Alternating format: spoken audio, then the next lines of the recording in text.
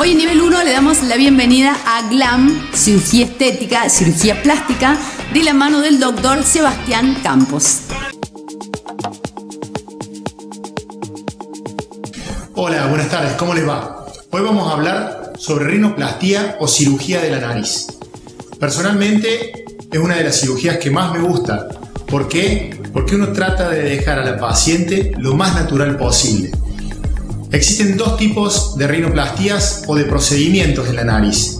Uno es la rinomodelación, que la podemos hacer con ácidos hialurónicos o cualquier otro eh, relleno, como para dejar la nariz en forma natural. Y si no, la cirugía. A mí personalmente me gusta más la cirugía porque perdura en el tiempo y no se nos está reabsorbiendo como tenemos que estar haciendo pequeños retoques en la rinomodelación. En lo que es la rinoplastía, siempre lo hago en forma cerrada. ¿Qué quiere decir eso? Que no dejo cicatrices por fuera. Es toda la cicatriz por dentro de la nariz y tratamos de dejar lo más natural posible para que la paciente no tenga ningún tipo de secuela cicatrizal fuera de la nariz.